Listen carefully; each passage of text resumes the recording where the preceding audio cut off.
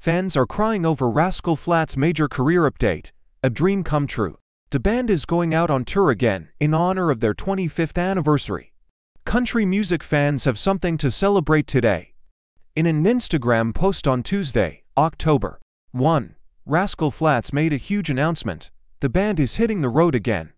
Launching the Life is a Highway tour in February 2025. It's hard to believe that 2025 will be the 25th anniversary of Rascal Flatts, and that felt like the perfect time to get back in front of all of you who have given us so much. The post's caption read, Tickets for the Life is a highway tour featuring at Lauren Alaina and at Iom Kreisland. Go on sale this Friday, October 4th, at 10 a.m. local time. Fans took to the comment section to express their excitement over the news. Screaming, crying, oh my god, oh my god, wrote one person. Doubt time country music hasn't been the same since Flatts left fingers crossed for at the very least a few new singles, rave. A second Instagram user. I just die. Holy cow, I can't wait, gushed another fan. Im crying, a dream come true, commented someone else.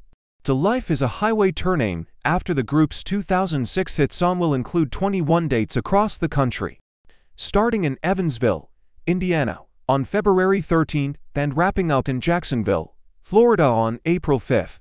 Country singers Chris Lane and Lauren Alaina, a runner-up on American Idol Season 10, are billed as special guests.